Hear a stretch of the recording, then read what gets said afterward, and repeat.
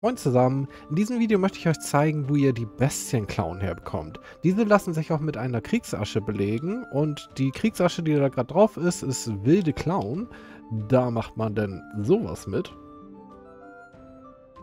Denn der R2-Angriff ist das da und R1, da können wir sowas machen.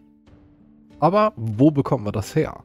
Hierfür starten wir direkt bei der Gnade Grabfeldebene. Das ist die erste Gnade, die ihr in den Schattenlanden seht. Und von da aus gehen wir dann nach Südosten. Und hier auch auf der Karte zu sehen, da in den Wald rein. Da streift ein menschlicher Gegner umher. Das ist Lugur die Bestienklaue.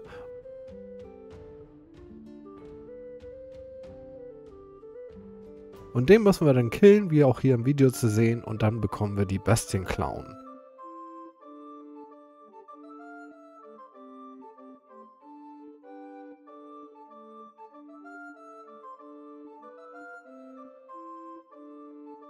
Hier auch nochmal auf der Karte zu sehen, wo wir uns im Wald direkt befinden.